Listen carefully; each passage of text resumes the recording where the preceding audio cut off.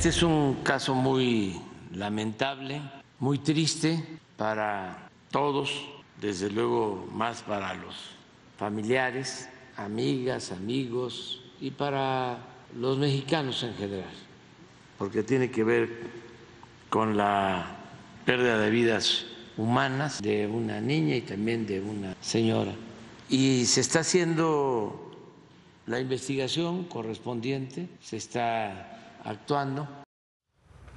Así fue como lamentó Andrés Manuel López Obrador el feminicidio de la pequeña Camila en Taxco Guerrero, cinco días después de lo ocurrido. Durante este tiempo, ¿qué ha pasado? Porque ni en sus redes sociales se refirió a los hechos ¿eh? que derivaron en el linchamiento y muerte de una mujer, pero esta mañana dijo que si bien corresponde a las autoridades locales investigar, se analiza si la Fiscalía General de la República puede atraer el caso. También hizo un compromiso que mañana martes el Gabinete de Seguridad dará un informe detallado de los hechos. Pues vamos tarde, ¿no?